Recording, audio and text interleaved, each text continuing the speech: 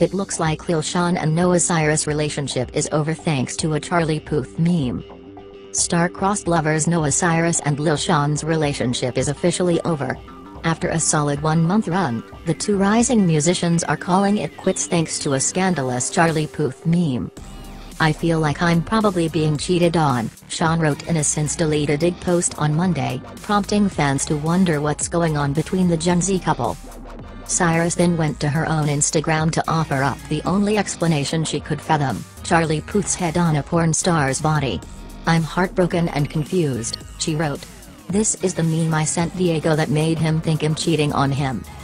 Sure, this seems a little far-fetched to think a meme complete with an eggplant emoji prompted this mess, but crazier things have happened in 2018. I'll try to explain it more in the next couple of days, she said on IG Live, per people. I never did anything that I'm getting accused of.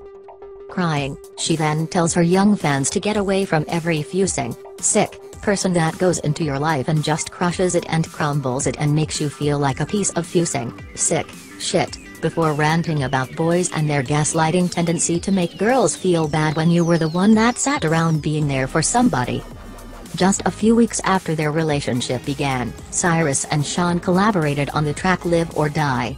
Xan announced the video for that track is never coming, before sharing a troubling revelation. I've just been informed that basically it's all fake and I'm being used. So fuck it. I guess I was just being used, he posted on his IG story, before sharing a photo of Noah getting cozy with some random guy that he cites as evidence of her infidelity. I thought I was in love but whatever. I'll take that L Heartbreak Soldier, thanks Noah. Hope the song does well. He might be onto something.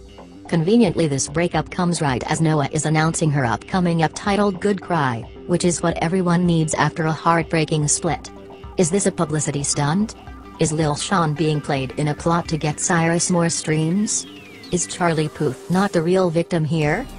21-year-old Xan is so upset he posted a video of him peeing on his platinum plaque for Betrayed. Oh boy, young love. Thanks for watching video please like share and subscribe for latest update fast for you.